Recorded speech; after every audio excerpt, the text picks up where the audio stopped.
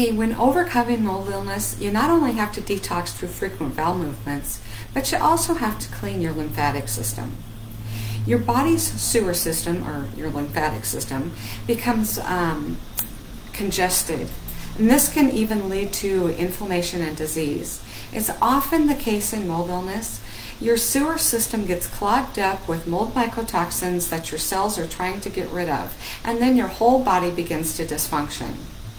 In a previous um, video, we discussed how when your colon is not open and working well, then other um, organs and your lymphatic system won't be able to drain right either. After all, when functioning properly, your lymph drains right into your colon and out for out as waste. So if your lymphatic system isn't working like it should, your skin, kidneys, and lungs will attempt to pick up the slack, and they work overtime. You may develop um, symptoms such as rashes, respiratory disease, and possible damage to your kidneys and liver. Essentially, when your lymph is not flowing well, your um, cells become poisoned from their own waste. Your lymph fluid becomes an even more toxic dumping ground, resulting in fatigue, swelling, infection, inflammation, and disease. This is why you must keep your lymph moving to um, become well and to stay well. While your, your circulatory system has a pump, your heart, your lymphatic system doesn't. That, but that's okay because you were fearfully and wonderfully made. And you can take action to clean your, your lymph system so that your body will function like it was made to. Number one, get upside down. An inversion table is a padded table that allows you to earn, invert upside down and while strapped in by your feet. This decompresses your joints and stimulates your lymphatic circu and circulatory system.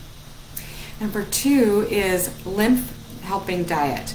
There are herbal teas that help lymphatic action, such as red clover, mullein, golden seal, ginger, sarsaparilla, which also binds endotoxins, um, golden seal, cleavers, and um, uh, olive leaf tea. Try to incorporate one of these teas or a blend into your daily routine. Teas are most effective if you drink several cups over the course of the day. Plenty of fresh produce and other minimally processed healthy foods also help maintain a strong gut um, blood barrier which prevents toxins and food irritants from leaking into the bloodstream or your leaky gut syndrome. These foods will lower your inflammation and the um, invasion of toxins that will otherwise clog up your lymphatic system.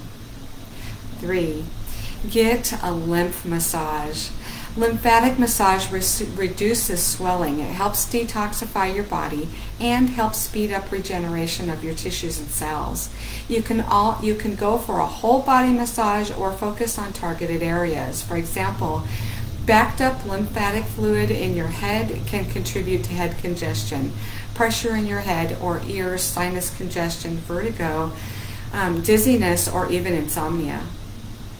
Four, dry skin brushing. Dry skin brushing promotes lymphatic drainage of your lymphatic of your toxic waste, and um, by helping to, it to move. Start a habit of dry skin brushing a few minutes before your shower or bathe um, or bath using an inexpensive natural bristle brush, and start at your extremities and brush toward your heart. Five. Alternate hot and cold in the shower.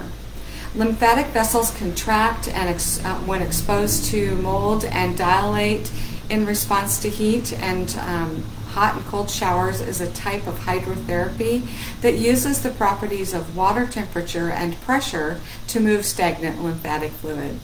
This will increase your circulation while boosting your immune function and metabolism. After dry skin brushing, Supercharge your morning shower by alternating hot and cold between 90 seconds and several minutes. To um, be sure to always end with cold water. Six, movement of your body. Do yoga, walk, stretch, bounce on a rebounder or exercise ball or jog, whatever gets your body moving without stressing it. Seven, deep breathing contracts your muscles and helps move your lymphatic fluid. Plus, the mindfulness of deep breathing makes it one of the best ways to manage stress, one of the biggest factors in lymph congestion. If you um, take many timeouts throughout your day, close your eyes and take five to ten deep belly breaths. When you inhale, simply, simply allow your belly to um, fully expand out like a balloon and then slowly exhale as much as you can. So, eight infrared sauna. Infrared saunas provide gentle, side effect free, um, powerful tool for detoxification. Infrared waves penetrate deep into the body and um, elevating your body's surface temperature and activating circulation, um, sweating and evacuation of toxins from your lymph and blood flow through your skin. The heat also increases your heart rate and encourages deeper breathing, which boosts the drainage process even further. Nine, loose fitting clothing, especially while you sleep. Tight fitting clothing can contribute to a lot of problems, including restricted lymph flow. Wear comfortable clothes made from natural fibers such as cotton, silk, linen, wool, and other natural fibers.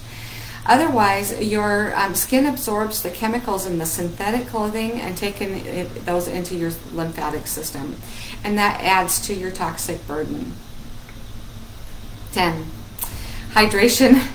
Hydration daily with water is the most important because lymph becomes thicker and less able to move when you are dehydrated, but flows well when you're hydrated. Remember, you can dehydrate yourself by drinking too much water too. Uh, drink half of your body weight in ounces of water dispersed throughout the day, every day. Drink more if you're sweating. So, in conclusion, you can clean your lymphatic system in many ways. Try any or all of these ways because your lymphatic system is especially important as you rid your body of the mold mycotoxins. And this is the first phase of starting to feel like yourself. I'll see you next week.